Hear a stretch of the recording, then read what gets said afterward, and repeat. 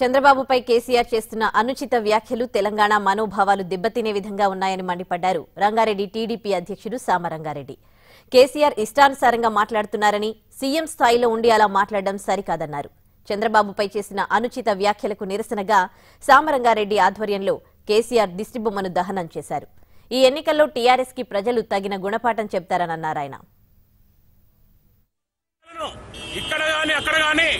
అక్కడ బాగుండాలనే ఆకాంక్ష వ్యక్తి మీద ఈ రోజు బురద జల్లే కార్యక్రమం చేస్తా ఉన్నాడు. నువ్వు ప్రజాక్షేత్రంలోకి వెళ్ళి పారిపోయిన వ్యక్తివి.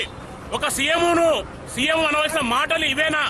ఒక సభ్య సమాజము ఈ రోజు సిగ్గుపడే విధంగా ఈ రోజు నొచ్చుకునే విధంగా. అసలు మాటలకు నోటికి అనలేని విధంగా ఒక ఒక పెద్దవు నువ్వు సీఎం సీఎం నువ్వు అనవలసిన ఇవి. తెలంగాణ సాధించుకుంటే ఈ రోజు ఒక నియంత్రణ పాలన జరుగుతూ ఉన్నది. నికుష్ట పాలన జరుగుతూ ఉన్నది. ఎవరన్నా ప్రశ్నించే వాళ్ళను నువ్వు కోర్టు కేసుల మీద బనాయిస్తున్నావు కేవలము ఈ అధికార దాహం కోసమే ప్రభుత్వాన్ని నడుపుతున్న తప్ప ఈరోజు పేద ప్రజలకు ఒక్క సంక్షేమ పథకాన్ని కూడా అడిగే ఇప్పించే పరిస్థితి కనబడతలేదు.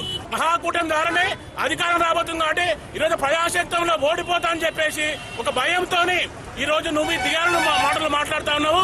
గతంలో కూడా నువ్వు కేవలము ఒక సెంటిమెంట్ని అడ్డబెట్టుకునే అధికారంలోకి వచ్చినావు. మళ్ళీ ఆ సెంటిమెంట్ రెచ్చగొట్టేసి అధికారం కైసం చేస్తామని చూస్తా ఉన్నావు. తెలంగాణ ప్రజలు నిన్ను చూస్తే ఈసాయించుకుంటున్నారు ఖచ్చితంగా రేపు తెలుగు తమ్ములు నీకు బుద్ధి చెప్పడానికి నీ గోరి కడతానికి సిద్ధంగా ఉన్నారు. నువ్వు కేవలము ఫామ్ హౌస్గా పరిమితం అవుతావు